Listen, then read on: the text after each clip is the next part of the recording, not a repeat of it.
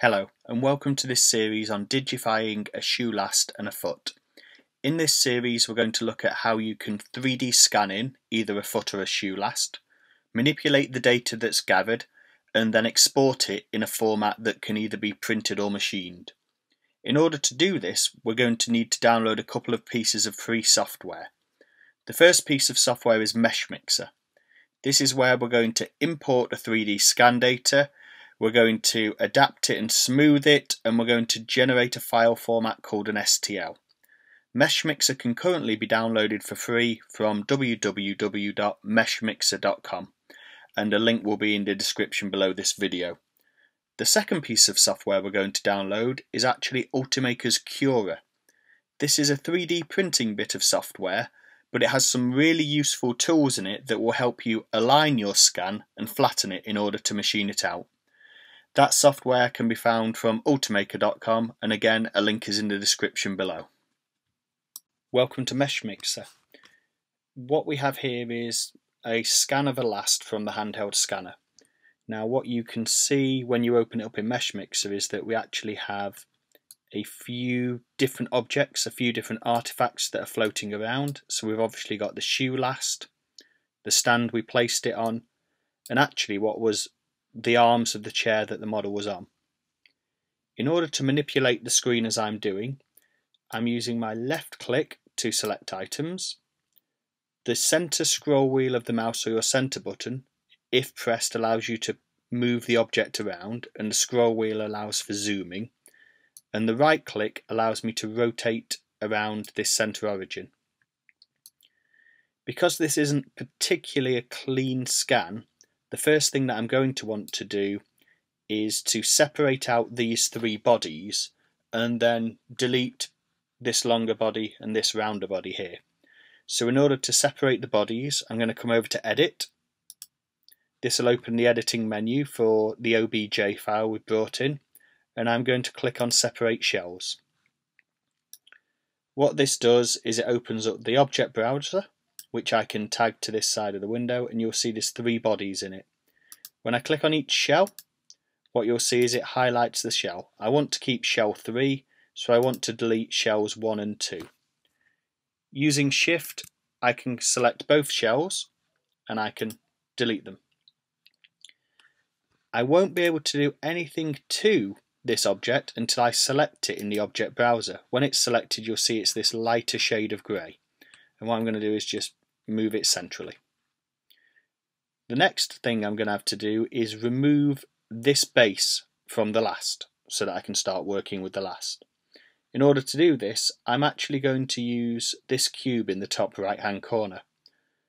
The reason I'm using this is that it gives me a flat view. So what I'm doing is I'm looking at the back of the model completely perpendicular to it. Again, I'm going to go into edit and I'm actually going to select transform. And what I'm going to want to do is rotate the model so it's flat. As you can see, if I select any part on this triangle here, I can rotate the model. Now, if I go out a bit, you'll see I have this wheel, and this wheel will snap to 5 degree increments. 10 degrees looks about right, so I'm going to release, and I'm going to accept the change. This now has squared up, you could say, the view of this last in the workspace within the software. What I'm then going to want to use is a plane cut. And what a plane cut does is it deletes half the model across what is this plane that you can see here. So if I go back to that original view, that's the plane. Everything below the plane is being removed. If the plane for some reason is on the wrong side of your model, click this arrow and it will reverse the direction of cut. The reason we squared up our shoe is so that I can raise this up until we start touching our model. It's going to rotate around and have a look. And as you can see, I'm removing quite a bit of the base of the model. So what I'm just going to do is drag it down slightly, which is the blue arrow, just until we get the initial part of getting the shoe flat. I'm going to spin it around quickly and check I've not taken too much off the heel because we know this model isn't completely flat. And at this point, I'm going to check that I'm cutting and discarding the lower half. and I've got a remeshed fill.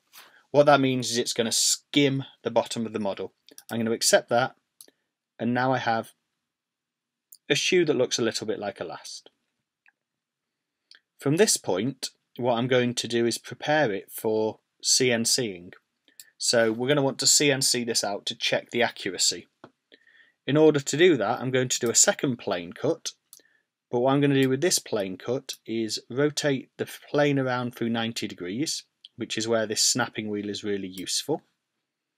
And I'm going to look as a top view. From this top view, what I'm going to try to do is actually rotate the plane around until it goes roughly down the centre line of my shoe, which I think is about there. That looks quite good. There doesn't seem to be any particularly there doesn't seem to be any overhang on the toe box or the heel cup at this place. This time, however, what I'm going to do is I'm going to change the cut type to slice and keep both halves, and I'm going to ask the fill type to be a remeshed fill. When I accept this cut, it doesn't look like it's done anything in the software. However, if we remember before we go to separate shells, we now have two halves of the model. Now what we're going to do with these halves of the model is look at each one individually. So hide one half by clicking the eyeball, select the other half by clicking this. Have a look at it. That's half our last to start with. So I'm going to do is go up to File and then Export. I'm going to want to export this as an STL so that it can be processed on the Roland CNC machines downstairs. Okay, so now that we've exported the two halves of the last, the left and the right, as STLs, what we're going to do is we're going to bring them into the Cura software. And I'm just doing that by clicking on them and opening them. The reason that we're doing this isn't necessarily because we're going to 3D print them, because as you can see, they're actually bigger than the print area. What we're actually doing this for is so that we can flatten out the models. Because when we scan the files, we scan them at a random angle, we then tried to square them up within Meshmixer, and we then cut them flat. If we took them downstairs, the models would be at an odd angle. So what we need to do in this is actually use one of the features of Cura called lay flat and we will lay the model flat onto the build plate and save the file. When we have it this way, whichever machine we take it to, be that a CNC or a 3D printer, the model is flat, will align to the build plane and work perfectly first time. Using Cura, it's kind of a similar environment to what we found in Meshmixer. So holding down your right mouse button will allow you to scan around. The middle scroll wheel is zoom and pressing down the middle scroll wheel or middle button allows you to drag the area around. What you'll see is we have both halves of our last here and at a default we're into move and we can move the model by clicking on any one of these arrows and dragging it around.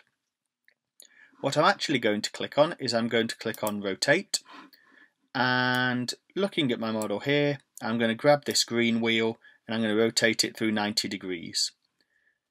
Again a bit like Meshmixer what you'll find here is that you have automatic snapping.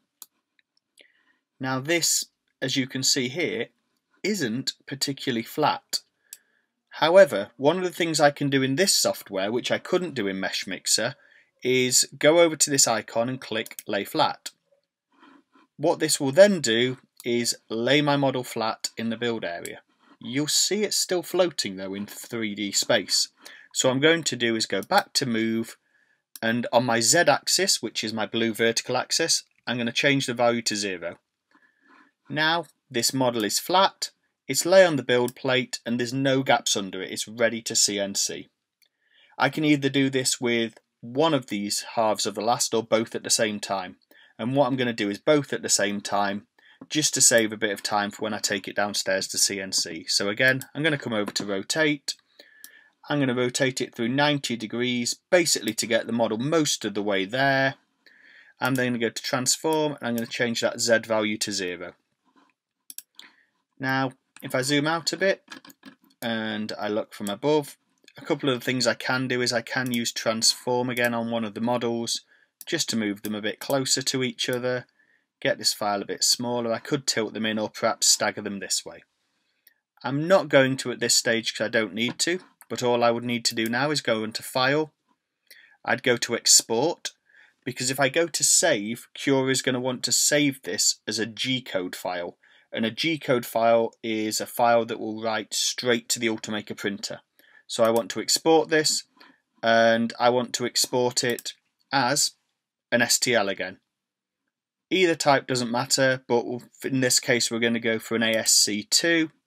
I'm going to call it both lasts, so I'm going to call it flat lasts and it's ready to save, it's ready to export and from there I can take it down to the Rolands and get these machined.